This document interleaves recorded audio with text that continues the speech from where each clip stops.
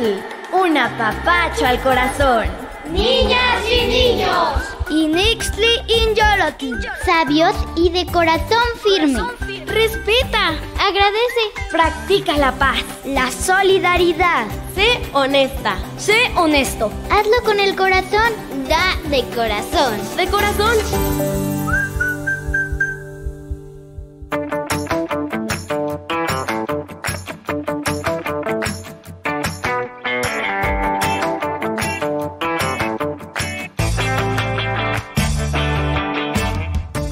Amigas y amigos de Yolotl, ¿cómo amanecieron hoy?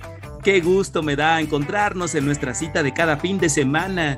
Este 2021, ay, se está yendo como si fuera volando. Tan solo faltan cinco semanas para despedir el año y darle la bienvenida al 2022. Y aunque en este horario los días son más cortitos y la noche más larga, es tiempo perfecto para jugar, estudiar, divertirnos mucho y seguir construyendo día a día un lugar mejor donde vivir.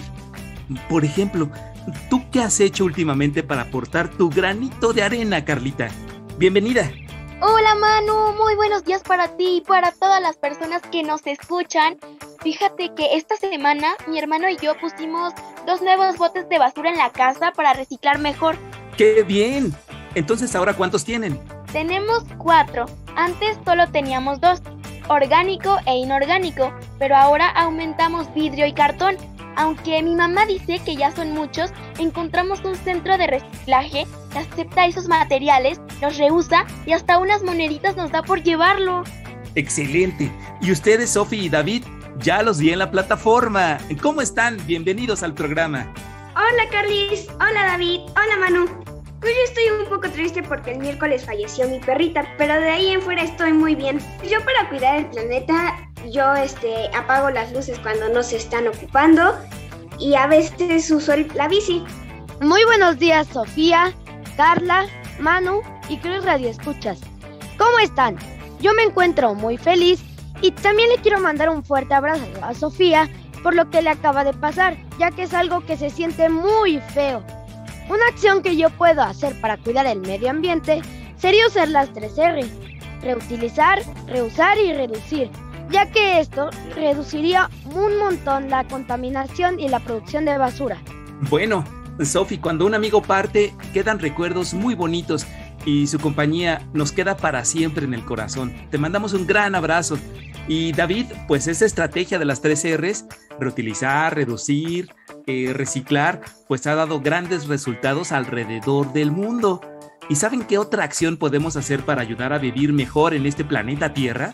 Seguir con las medidas de higiene para ayudar a parar y eliminar de una vez por todas la pandemia del coronavirus. El uso correcto del cubrebocas, lugares ventilados, respeto de la sana distancia y por supuesto lavarnos las manos son pequeñas acciones que nos ayudan todos los días a estar sanos. Prepárate para nuestra rutina de limpieza al ritmo de Plaza Sésamo.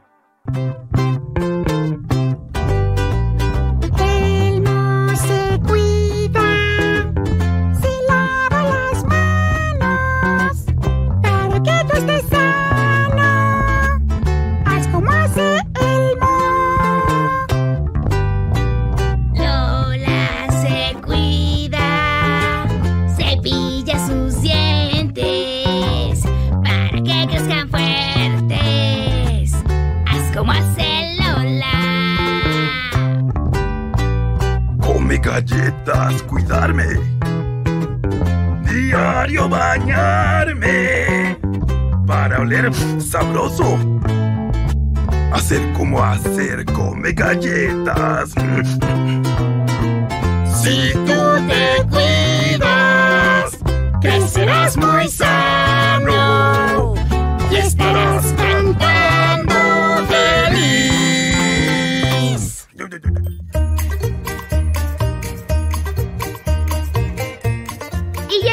libres de infecciones por virus o bacterias, podemos descubrir cuál será el tema de hoy.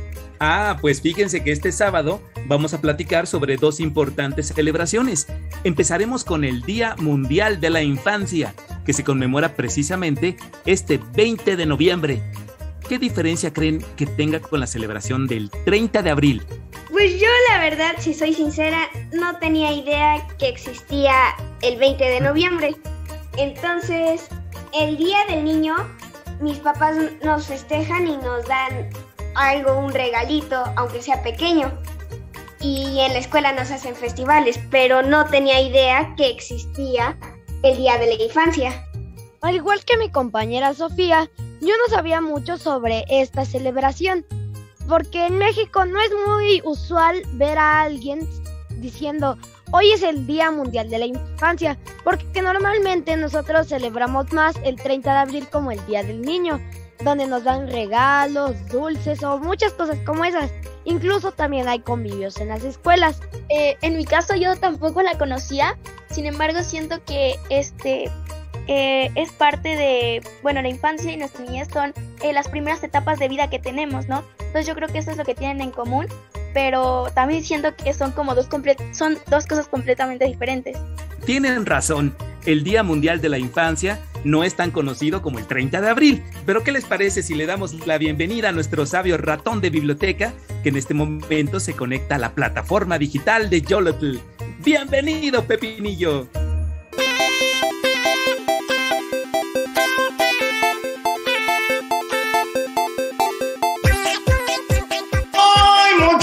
Gracias, Manu. ¿Cómo están, queridos amigos de Yolotl? ¡Qué placer! ¡Qué gusto! ¡Qué emoción! ¡Qué alegría! ¡Qué alegría cumplir puntualmente la cita de amigos que tenemos cada sábado! A nosotros también nos da muchísimo gusto verte y compartir esta mañana contigo, Pepinillo. Oye, querido y peludo amigo, como seguramente tú lo sabes, hoy, 20 de noviembre, se conmemora a nivel internacional el Día Mundial o bien el Día Universal de la Infancia. ¿Sabes por qué? Claro que lo sé. Pues una de mis pasiones es investigar todos los temas que estén relacionados con niñas y niños. Pues entonces cuéntanos, Pepinillo. Ah, pues paren bien sus orejitas.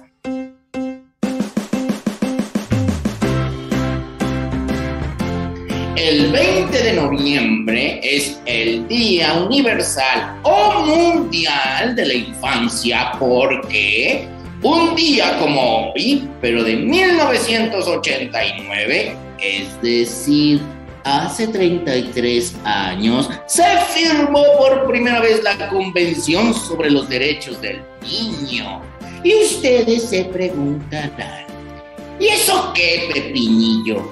Bueno, pues eso fue muy importante, porque a partir de esa fecha se reconoció que a las niñas y a los niños del mundo se les tienen que respetar sus derechos. Y es una obligación de todos los países hacer lo que sea necesario para que así se cumpla.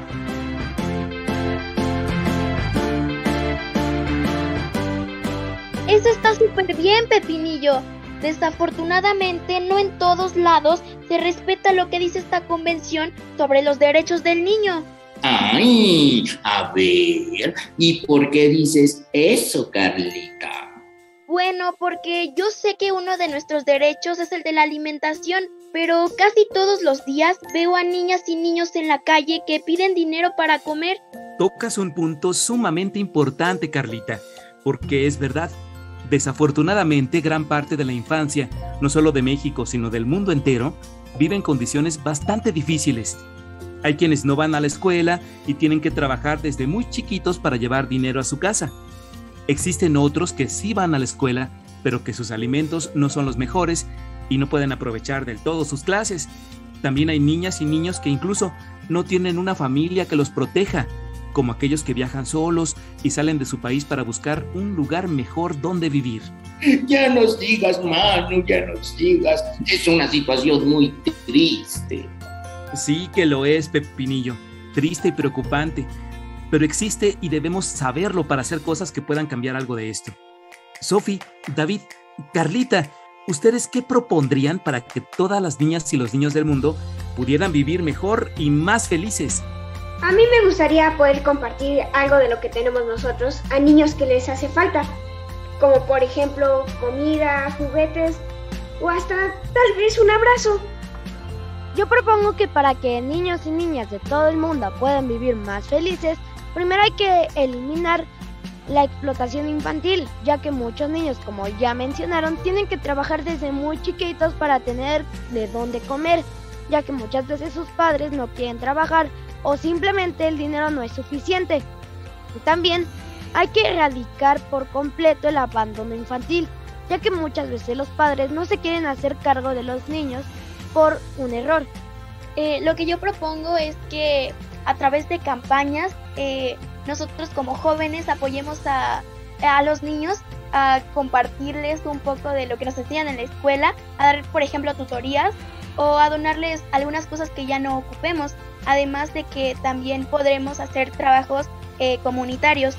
Ay, pues a mí me gustaría ir por el mundo enseñándole a leer y escribir a quien no sepa.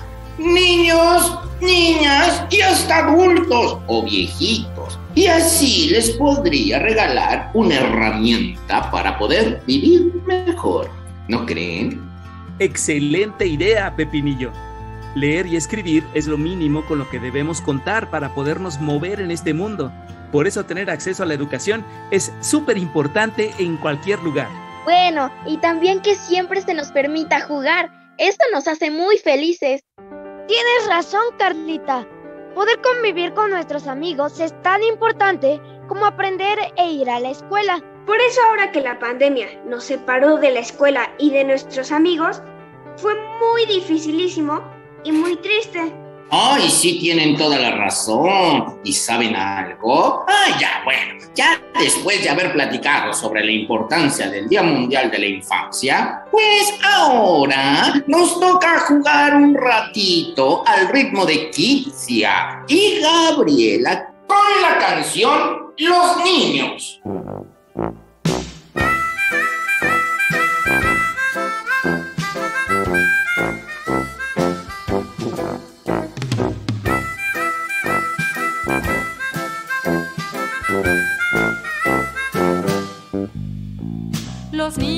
Piensan más en las personas, las hacen personajes de su historia. Serán gigantes, héroes o villanos, tendrán siempre un papel muy importante. Entienden de la química del lodo, convierten los juguetes a su antojo.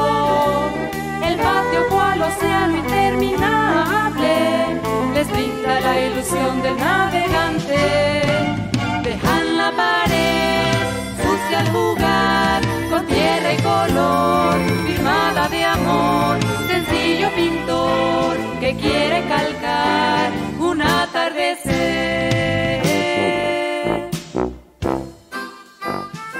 ¡Ah, qué bonita canción! A mí no solo me puso a bailar, sino también a pensar. Y es que este 20 de noviembre también se celebra en nuestro país una fecha importantísima, la Revolución Mexicana, una lucha que finalmente lo que buscaba era que todas las personas de nuestro país vivieran una vida digna, es decir, una vida bonita. ¿Ustedes qué recuerdan sobre esta celebración?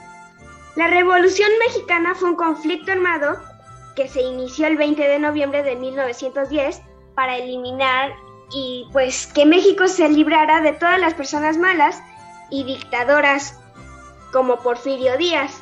Lo que yo sé sobre la guerra de revolución es que fue una guerra que duró 10 años, de 1910 a 1920, la cual se desarrolló en México por dos bandos. Ambos lucharon hasta que uno resultó ganador y después de que la guerra se consumara, también se fundó la constitución que hoy nos rige.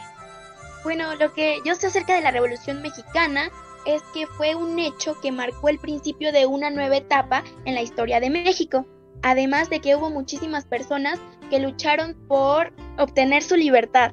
Recordar fechas que significaron tanto para este país como la Revolución Mexicana es muy importante, porque quien no conoce su historia está condenado a repetir los mismos errores. Ándale, Pepinillo. Ahora sí que te pusiste muy filosófico. Y me parece muy bien. Pero les propongo que para todas aquellas personas que no recuerdan bien a bien de qué se trató toda esta lucha revolucionaria, escuchen con mucha atención el siguiente cuento que preparamos para ustedes. Está sencillo, está bonito y nos explica fácilmente por qué es tan importante celebrar el aniversario de la Revolución Mexicana. Adelante compañeros.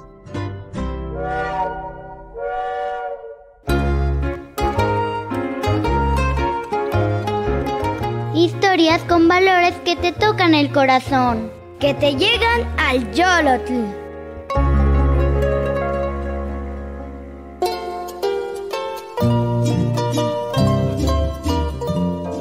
Adaptación del cuento La Revolución Mexicana para Peques.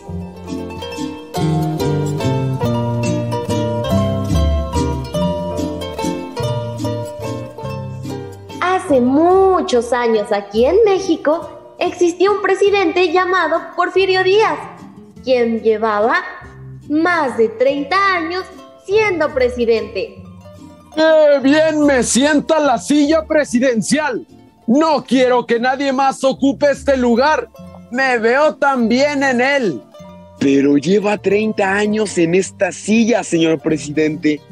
¿No le parece que ya es mucho? Mm, no. ¿Qué acaso el país no ha avanzado? Tenemos más ferrocarriles, más trenes y ahora hay luz en los hogares.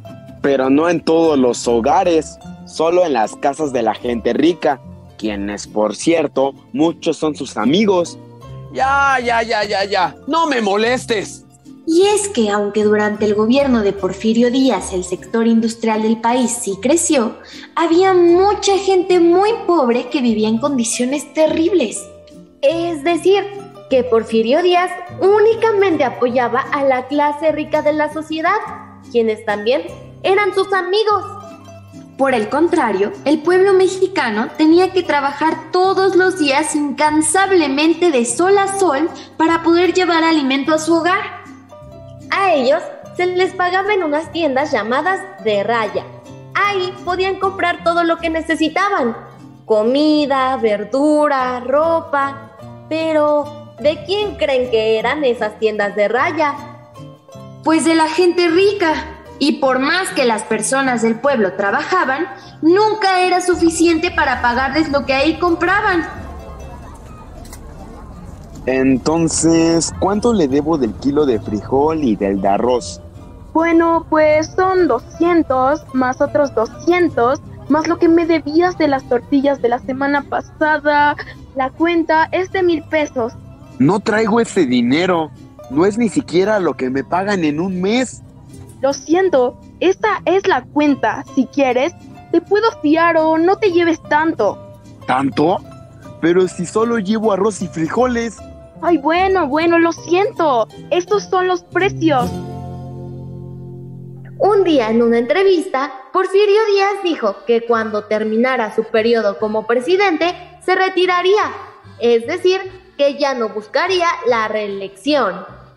Esa noticia la escuchó un hombre llamado Francisco y Madero, quien tenía muchas ganas de ayudar al pueblo a vivir mejor. Así que cuando escuchó la noticia, se puso las pilas. Fundaré el partido antireeleccionista. Haré una gira por todo el país e invitaré a las personas a que voten por mí en las próximas elecciones. Así lo empezó a hacer Francisco y Madero y le fue muy bien. Pero cuando Porfirio Díaz vio la popularidad que estaba teniendo Francisco y Madero en todo México, no lo soportó. Vayan por él y métanlo a la cárcel. ¿Pero con qué cargo, señor presidente? Enciérrenlo por rebelión y ultraje a las autoridades. Y así, con Francisco y Madero en la cárcel, se llevaron a cabo las elecciones. Situación que le dio nuevamente el triunfo a Porfirio Díaz, quien fue otra vez presidente de México.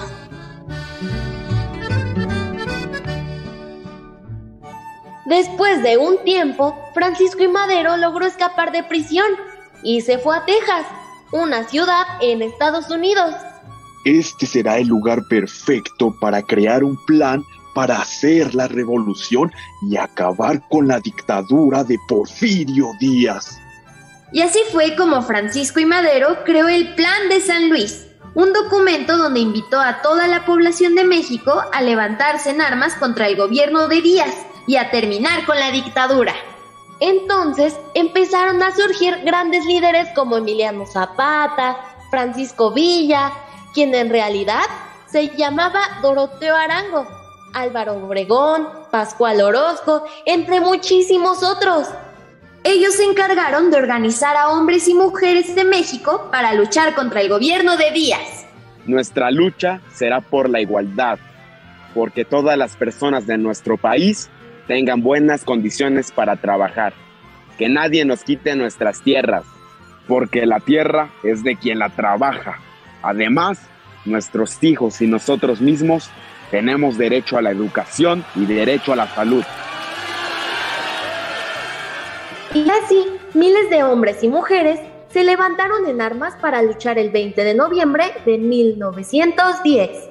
Ese fue el comienzo de la lucha armada que se llamó Revolución Mexicana, donde campesinos y campesinas lucharon con los recursos a su alcance para terminar con la dictadura y obtener una mejor vida. Cuando Porfirio Díaz se dio cuenta que el pueblo mexicano estaba decidido a quitarlo del gobierno, firmó su renuncia el 25 de mayo de 1911 y huyó del país.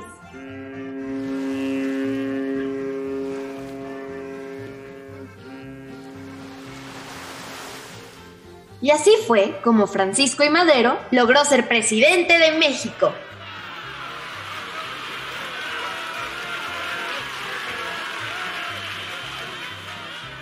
La transformación de México no terminó ahí y el 5 de febrero de 1917 se promulgó nuestra Constitución mexicana, uno de los documentos más importantes que hasta la fecha tiene nuestro país, donde quedó escrito que no se permite la reelección en México. Y que vivan los héroes de nuestra revolución.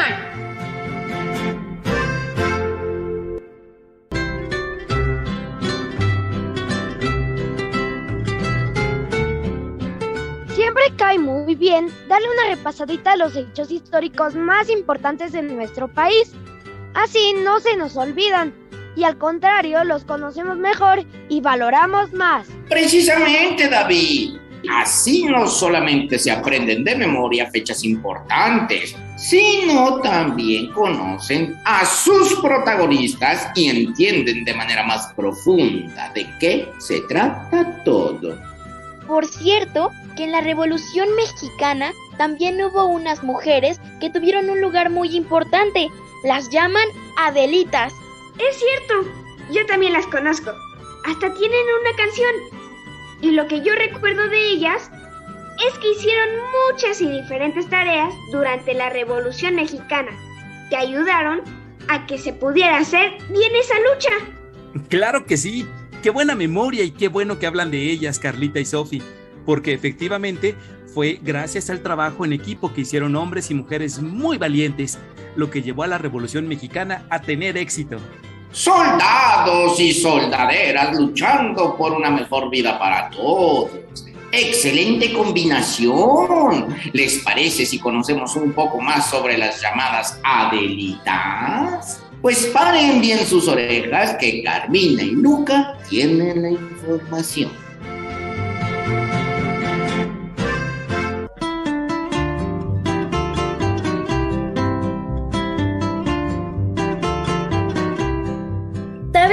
Quiénes fueron las Adelitas de la Revolución Mexicana? Nosotros te lo contamos. La revolución en México fue una etapa donde se construyó un país libre y más justo, donde grandes personajes y héroes nacieron. Nombres como Zapata, Villa y Madero se hicieron muy famosos, pero también el papel de las mujeres fue muy importante para sobrevivir a los ataques. Las mujeres ayudaban como enfermeras, cocineras y hubo muchas que también decidieron levantarse en armas. Ellas fueron llamadas las Adelitas, soldaderas o coroneles. Madres, hijas, esposas y trabajadoras del campo abandonaron la vida en casa y tuvieron que formar parte de la revolución. Acondicionaron sus hogares para cuidar a los heridos.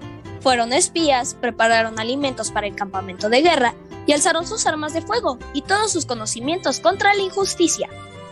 El nombre de Adelita se dice que viene de Adela Velarde Pérez, una enfermera que ofrecía ayudar a los hombres heridos.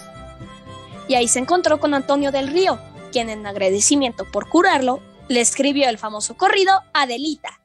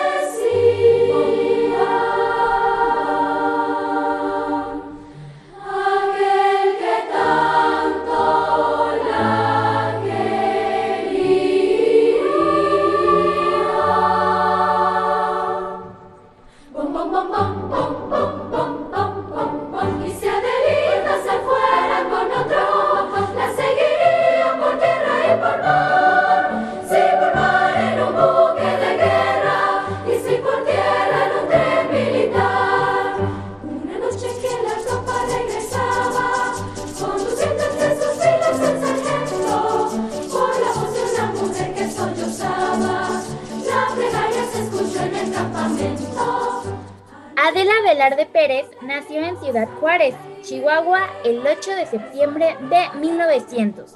Fue nieta de Rafael Velarde, un destacado general juarista que luchó contra el imperio francés. Desde los 13 años formó parte de la lucha revolucionaria como enfermera en la Cruz Blanca.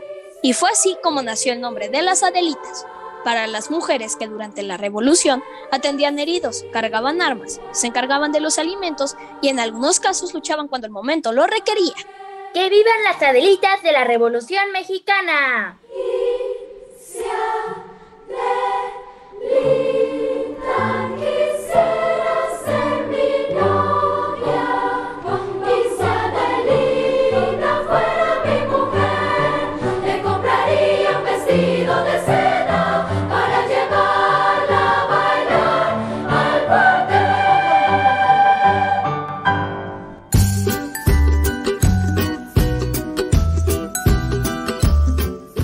Aunque ustedes no lo crean, el programa de hoy ya se terminó y nos tenemos que despedir. Se fue volando una vez más. Pero antes, ¿con qué reflexión les gustaría despedirse hoy después de platicar sobre el Día Universal de la Infancia y también sobre la Revolución Mexicana? Pues yo diría que hay que celebrar las dos porque la Revolución Mexicana fue muy importante para que hoy viviéramos así en México y que también hay que ser igualitarios con todos los niños y que se respeten todos sus derechos. Yo creo que ambas celebraciones son igual de importantes, ya que la de la infancia nos habla de que los niños somos tan importantes en la sociedad como cualquier otra persona, no al mismo nivel de rendimiento, pero somos iguales de importantes. Y la Revolución Mexicana también es muy importante, ya que es una de las tantas guerras que formaron a nuestro país. Yo creo que es muy importante conocer eh, lo que se celebra y conocer nuestra cultura, nuestra historia y por supuesto hacer valer nuestros derechos es muy importante. Yo también hago votos para que se respeten los derechos de todas las personas, de los niños, las niñas, adultos, trabajadores, campesinos y mujeres por igual. ¿Y tú qué dices, Pepinillo? Ah, pues yo únicamente me quiero despedir diciéndoles que la firma de la Convención de los Derechos del Niño y la lucha de la Revolución Mexicana son hechos muy importantes que han ayudado a construir un lugar mejor para todos. Y gracias a hombres y mujeres que lo han hecho posible. Pero eso no nos quita la responsabilidad que tenemos tú y yo de ayudar a construir un mundo mejor. Así que, día a día, pon tu granito de arena. Muy bien dicho, Pepinillo. Construyamos juntos un lugar más cálido y respetuoso para todos. Les mandamos un fuerte abrazo y recuerden que los queremos mucho. Con todo nuestro Yolotl. Y nos escuchamos la próxima semana.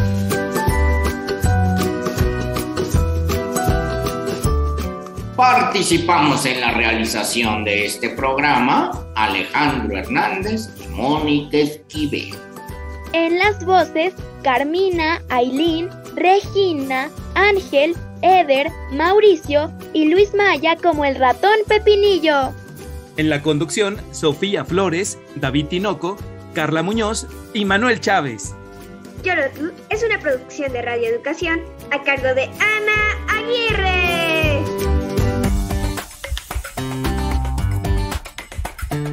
Shimewa, levántate, Shishuetska, ríe. Wanshiknemili, vívelo. Shinegnemi, sigue adelante.